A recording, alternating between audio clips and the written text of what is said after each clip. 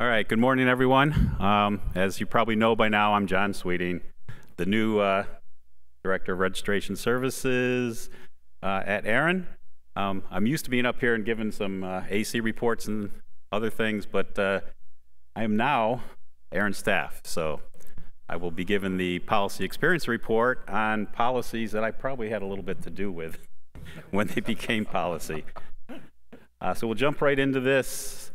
Um, so the purpose of the policy experience report is to review existing policies, to look through and find out, you know, if there's language in there that could be made more clear for um, our customers to be able to go through the processes and understand the policies. Uh, it, it's really amazing to me being on that other side now of how much ambiguity and differences there are in the way words are written and how people interpret them. And, and it really helps to get the feedback from the community so we can look at that. And sometimes it's very obvious once it's pointed out, but when it's not, when we don't really aren't looking for it, it's really hard to find. So lots of input is good. Uh, we also look at it to identify new areas. Uh, the analysts put things together, they talk and they say, hey, there's been a lot of this going on lately. Maybe we need to have a policy that addresses it, that helps us do the, the job better and more efficient, more effective. Um, and then, of course, we want to provide that feedback back to, to you guys here at the meetings. Today, I'm going to talk about two policies that were reviewed. Um, NRPM 5 is the AS number policy, and NRPM 42, well, NRPM, of course, is the um, number, resource, number policy. resource policy manual, which I should know. And paragraph 5, and, then, and also within the NRPM, paragraph 4236, which is reassignments to multi-home downstream customers. And getting right into the AS number policy, uh, when I first got there, um, the analysts, the staff in RSD came to me and said, you know, we're spending a lot of time to give out or approve AS numbers. Um, there's a, there's a, it's complicated. The customers come in, they want to do BGP. They're, they're, they're starting up a network. They want to start out configured with BGP. They, sometimes it's they don't have you know the revenue to start out with two providers. So we ask them for you know just you know, to have the contracts, but you know it, it's just a, it was seems to be a very convoluted process to get an AS number. Um, so the current policy text says in order to be assigned an AS number, each requesting organization must provide ARIN with verification that it is either a unique routing policy um, or it's a multi-home site. I think we covered the unique routing policy in, at, in Jamaica and um, got some further clarity on that and understanding. Uh, but the multi-home site portion is what I'm going to concentrate on today. Uh, so AS numbers are, are issued based on current need as well. Uh, and it states in the NRPM that it's, uh, you can only get an AS number well, it says you should only request an AS number when it's already multi-homed or will immediately become multi-homed. Immediately is kind of a problem. Um, usually, from what I un understand being there for the last two months, immediately almost is always interpreted as within 30 days. So um, there you go. The current practice is to confirm connectivity with two upstream providers making sure we either want to see connectivity contracts, invoices, or address reassignments with the two providers. Um, as you can see, there's problems with that. Sometimes when the address, uh, two providers won't both give addresses because they say, well, you're getting it from your other provider, so we're not going to give you any, especially today when addresses are getting scarce. Um, and then to confirm the deployment within 30 days, the immediately portion of it. So what we're asking is, are these correct given that ASNs are no longer scarce, not considered like, you know, a limited resource? Um, so that's one of the things I'd like you to think about.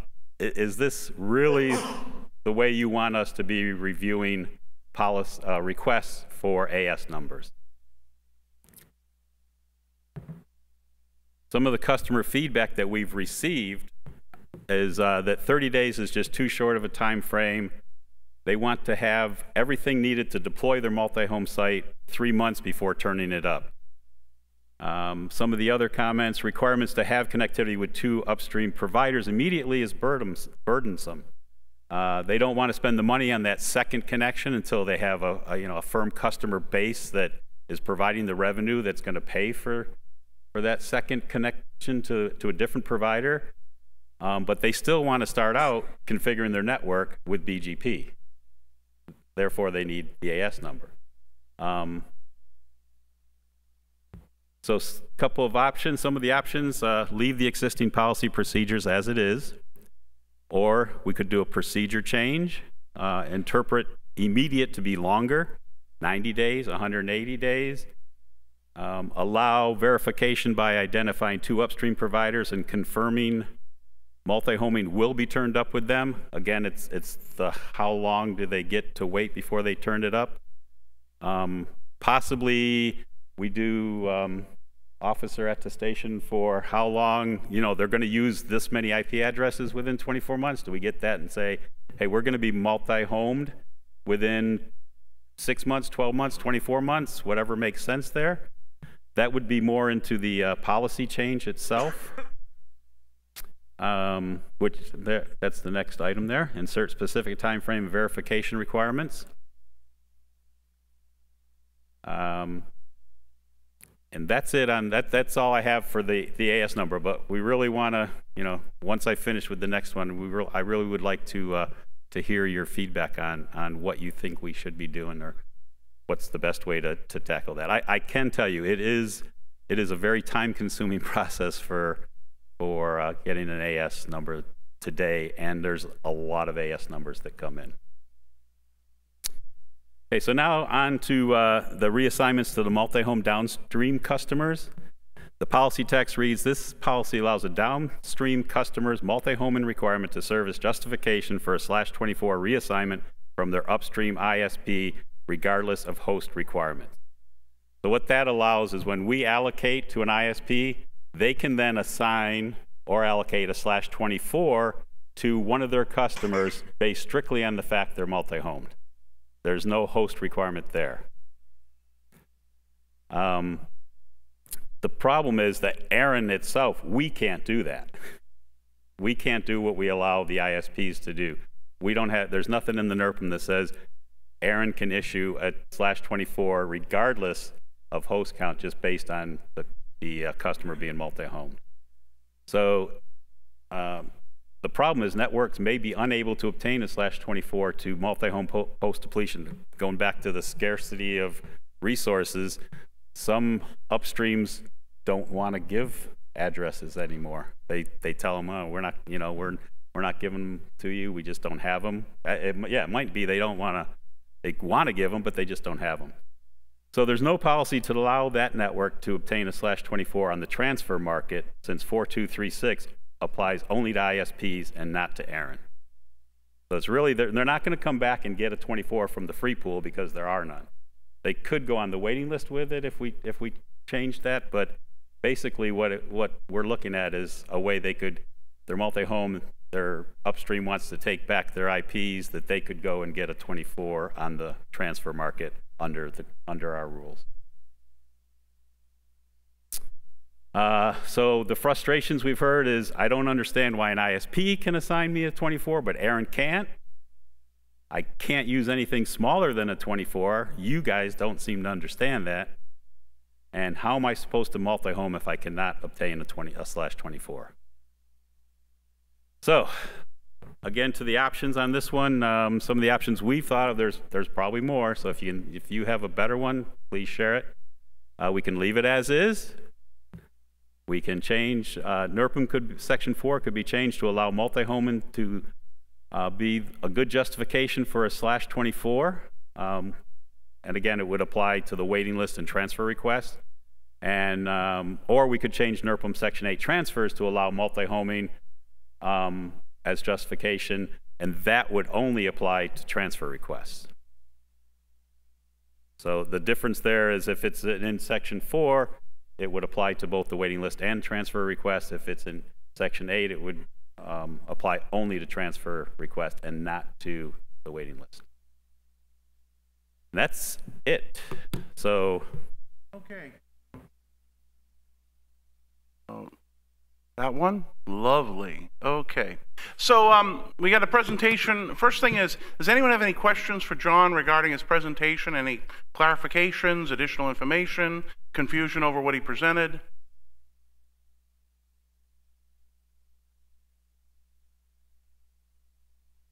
Yes, Kevin. Kevin Blumberg, The Wire, NRONC. Uh, Step closer to the microphone. John, very quickly. Um, it might be very beneficial to include, uh, like you did in uh, the first one, to put in what a unique routing policy is. Uh, because I think many people today will actually just use, oh, I'm a unique routing policy and not even touch the multi-homing. So while I agree that cleanup is probably needed, um, I don't think most people outside of this room will know what a unique routing policy is in regards to how ARIN defines it. So I don't know if that's anywhere. It's sort of a um, amorphous. That's the first thing. The second thing is uh, in regards to the slash 24 requirements, um, absolutely agree it needs to be simplified and, and brought in line. But the other problem with that is that we also have the reserved pools. And um, it's important to take into account how this will apply to reserved pools as well, because we have had policy previously that would have done that partially for 4.10 and, and it failed with the community previously. So want people to come up, any clarifications or questions on John's presentation. We need to be careful not to go into advocacy of a particular policy change because we could be here all day and this isn't a policy block. So go ahead. Questions to John about his presentation? Can I just something from Kevin? Uh, Kevin, uh, the unique routing policy was covered in depth in Jamaica. Um, it was a, it was uh, on the policy experience report there. Um, I'm not really, I'm not prepared to like go any deeper into it right this second. It's not on the website for the average per- uh, person to see. That's the point I'm trying to make. Oh, okay, thank you. We'll take care of that. Okay. Next, John. John Springer, uh, ARIN AC. Uh, we're gonna, I'm going to be presenting a recommended draft policy this afternoon that hopefully will take care of uh, your second bullet point here. Uh, that's policy proposal 2016-4. Uh, you can find it in your uh, your guides. Excellent. Back microphone. Hi, uh, Chris Woodfield with Twitter. Uh, regarding the AS allocation, um, given that we're now in a 32-bit address space, it seems to me that allocation of an AS number is is sorry, the AS number pool is no scarcer than say the IPv6 address pool. Have there ever been have there been any proposals to tie the allocation of an AS number to the allocation of an IPv4 or v6 prefix? I haven't seen a proposal to that effect in this region. I believe in another, is there a region out there where the uh, V6 and AS allocations are given the same time? I know it was discussed in one region. No, I guess not. Um, so right now, I don't know of anything where you get them both at once. Well, not necessarily get them both at once, but maybe the fact that you have an, an allocation can be used as justification for obtaining a AS number. Certainly a possibility. Owen DeLong, ARIN AC, uh, Akamai. Um, regards the unique routing policy, it was covered pretty well in Jamaica. It should be on the website. Uh, it is a bit amorphous, and in my experience, that's a pretty good thing because there are actually a lot of things you can do that qualify as a unique routing policy. And I've had many a customer in my consulting business in the past that has taken full advantage of that fact in order to be able to get ASNs for uh, creative and interesting purposes that are perfectly legitimate and would otherwise be very difficult to deal with. And I've had a few customers, for example, where that's not permitted in APNIC. They strictly require multi-homing or did up until a recent policy change and um, it's been problematic. So I, am strongly in favor of keeping that provision and uh, explaining it a little better, but not locking it down too tightly would probably be a good thing. Okay, back microphone. Rob Seastrom, uh, ARIN AC, Charter Communications. Um, I got ASNs back in the dawn of time, and the bar for demonstrating need was extraordinarily low because there was no scarcity. In the absence of a scarcity regime, I am in favor of making the bar similarly low. I think that you needed to be able to spell EGP at the time in order to qualify for an ASN. I'm not in favor of just handing them out with prefixes, um, despite the fact that 32 bits for ASNs looks pretty. Thank you. Okay, thank you. Any other questions for John? Okay, thank you, John.